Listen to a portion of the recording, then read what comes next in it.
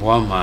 လှုပ်ချင်တဲ့လှုပ်လှုပ်တဲ့လှုပ်တွေကတော့အများကြီးရှိတာပေါ့အဲလှုပ်ချင်တဲ့များရှာလို့နေမယ်လှုပ်တဲ့များရှာလို့နေမယ်ဟိုကျုံလာသမျှလက်ခံပြီးတော့လုပ်နေမယ်ဆိုလို့ရှိရင်အလုပ်တင်ဆုံးလုပ်လှုပ်ချင်ဆုံးလုပ်တွေကိုမလုပ်ဖြစ်ပဲနေမယ်သို့မဟုတ်လည်းအားနဲ့လောက်အားနဲသွားလိမ့်မှာပေါ့နော်ဒါကြောင့်မလို့ဥစဉ်အနေနဲ့တော့ဒီလှုပ်တဲ့သမျှလှုပ်ချင်သမျှဆင်းပေါ်လာသလိုဟိုလိုအပ်ချက်အရာမလုံးမချင်တဲ့လုပ်နေတဲ့လုပ်တွေကိုအတက်နိုင်ဆုံးရှော့ပြီးတော့ ကိုယ်အလုပ်ချင်ဆုံးဖြစ်တဲ့အများကောင်းကျိုးနဲ့ပတ်သက်လို့ရှိရင်သာသနာနဲ့ပတ်သက်လို့ရှိရင်မြတ်စွာဘုရားရှင်တရားတော်တွေကိုအများနာလျောက်ရေးသားပြီးတဲ့စာရေးတဲ့လူဓမ္မစာပေရေးသားတဲ့လူကိုပဲဥစဉ်အထူးကလုပ်ချင်တာဖြစ်တဲ့အတွက်ဒီတန်တဲ့လူမှုရေးဘာသာရေးပရိဟိတလူတွေရှော့နိုင်တယ်မှရှော့ပြီးတော့ဒီစာရေးတဲ့လူကိုပဲအချိန်များများပို့လို့ပြန်ကြိုးစားမယ်လို့ဥစဉ်တော့ဆုံးဖြတ်ချက်ချထားပါတယ်ဒါပေမဲ့လည်းနောက်ဆက်ဖို့ကြိုးစားရင်ရှိတူမီဆိုတာလိုပဲဟိုစာရေးပြီးစာရေးတဲ့လူကိုပဲဥစားပြမယ်ကျန်တာတွေရှော့မယ်လို့တွေးကြမှာပဲကျန်တဲ့လူတွေကလည်းမလုံးမဖြစ်ပေါ်ပေါ်လာတာများနေတော့ ဘာမှတော့မတွေးရတော့ဘူးဖြစ်နေတာပေါ့လေ